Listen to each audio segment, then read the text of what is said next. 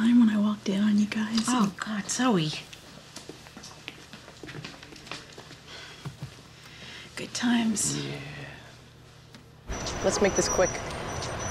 So, thank you for having lunch with me. Go on. Lenny is so nice to me.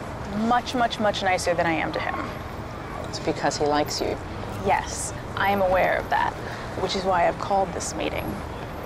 Clearly, we have sizzling chemistry, obviously. Uh, actually, Zoe, it's not that obvious, but if it's obvious to you, that's all that matters. He's into me. That's for sure. Get to your point. Should I hook up with him or not? You don't have a mother or a best friend or somebody you can be having this conversation with? Yes, but they're all gossips. You know how to keep a secret.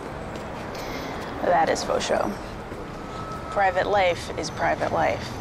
Um, we're not talking about me. My point, exactly.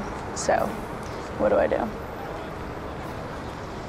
Um, well, you have to see him every day. It Might be kind of weird. It's already kind of weird.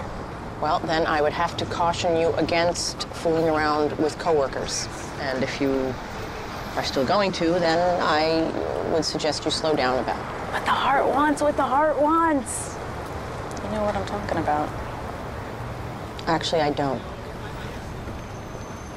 You and Eddie Yes.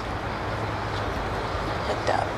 Okay, Zoe, you know what? Yes, you and Lenny in a back room on a cot somewhere, and someone like you can walk in on you. It's good stuff. Very romantic, and I wish you all the best.